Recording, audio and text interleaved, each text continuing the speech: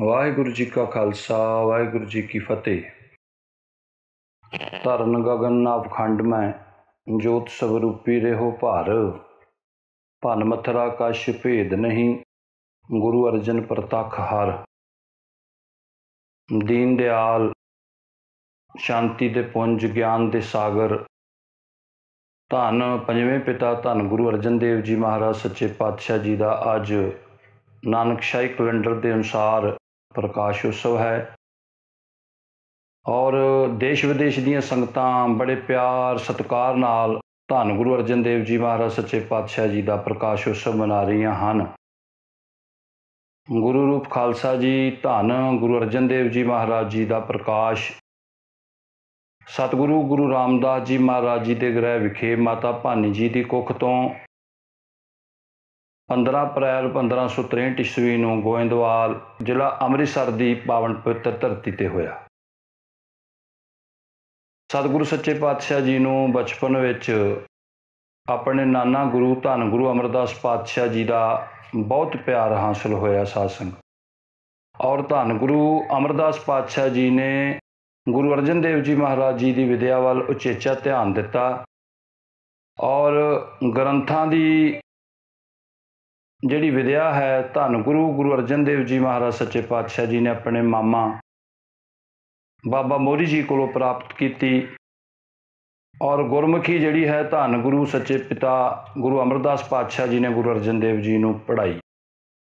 ਦੇਵਨਾਗਰੀ ਦਾ ਗਿਆਨ ਪਿੰਡ ਦੇ ਪੰਡਿਤ ਪਾਸੋਂ ਪ੍ਰਾਪਤ ਕੀਤਾ ਔਰ ਸੰਸਕ੍ਰਿਤ ਦਾ ਜਿਹੜਾ ਗਿਆਨ ਹੈ, ਉਹ ਪਿੰਡ ਦੇ ਬੇਨੀ ਪੰਡਿਤ ਕੋ ਪ੍ਰਾਪਤ ਕੀਤਾ, ਫਾਰਸੀ ਸਤਿਗੁਰੂ ਸੱਚੇ ਪਾਤਸ਼ਾਹ ਜੀ ਨੇ ਪਿੰਡ ਦੇ ਮੌਲਵੀ ਕੋਲੋਂ ਪ੍ਰਾਪਤ ਕੀਤੀ ਔਰ ਧੰਨ ਗੁਰੂ ਅਮਰਦਾਸ ਪਾਤਸ਼ਾਹ ਸੱਚੇ ਪਿਤਾ ਜੀ ਨੇ ਗੁਰੂ ਅਰਜਨ ਦੇਵ ਜੀ ਮਹਾਰਾਜ ਜੀ ਨੂੰ ਘੋੜਸਵਾਰੀ ਔਰ ਤੀਰ ਅੰਦਾਜ਼ੀ ਵੀ ਸਿਖਾਈ।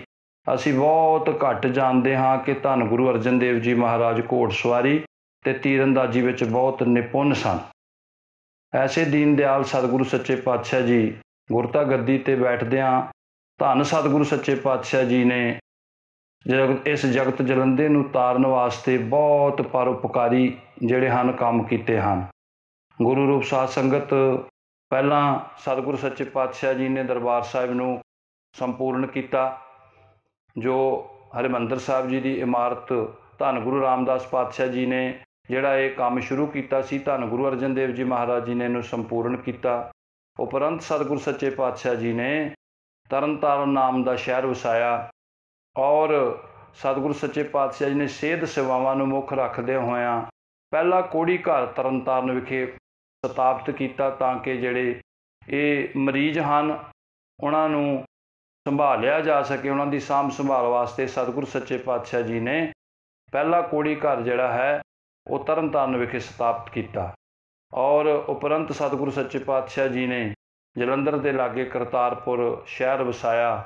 ਗੁਰੂ ਰੂਪ ਸਾਧ ਸੰਗਤ ਸਤਿਗੁਰੂ ਗੁਰੂ ਅਰਜਨ ਦੇਵ ਜੀ ਮਹਾਰਾਜ ਜੀ ਦੀ ਜੋ ਸਾਨੂੰ ਦੇਣ ਹੈ, ਉਹ ਦੇਣ ਸਭ ਤੋਂ ਵੱਡੀ ਜਿਹੜੀ ਦੇਣ ਸਾਨੂੰ ਸਤਿਗੁਰੂ ਸੱਚੇ ਪਾਤਸ਼ਾਹ ਜੀ ਦੀ ਹੈ, ਉਹ ਹੈ ਧੰਨ ਸ਼੍ਰੀ ਗੁਰੂ ਗ੍ਰੰਥ ਸਾਹਿਬ ਮਹਾਰਾਜ ਸੱਚੇ ਪਾਤਸ਼ਾਹ ਜੀ ਨੂੰ ਪੋਥੀ ਰੂਪ ਵਿੱਚ ਪ੍ਰਕਾਸ਼ਿਤ ਕਰਕੇ ਤੇ ਦਰਬਾਰ ਸਾਹਿਬ ਵਿਖੇ ਸਤਿਗੁਰੂ ਸੱਚੇ ਪਾਤਸ਼ਾਹ ਜੀ ਨੇ ਉਹਦਾ ਪ੍ਰਕਾਸ਼ ਕਰਵਾਇਆ। ਐਸੇ ਦੀਨ ਦਿਆਲ ਸਤਿਗੁਰੂ ਧੰਨ ਗੁਰੂ ਅਰਜਨ ਦੇਵ ਜੀ ਮਹਾਰਾਜ ਜੀ ਦਾ ਨਾਨਕ ਨਾਨਕਸ਼ਾਹੀ ਕੈਲੰਡਰ ਅਨੁਸਾਰ ਅੱਜ ਪ੍ਰਕਾਸ਼ ਉਤਸਵ ਹੈ।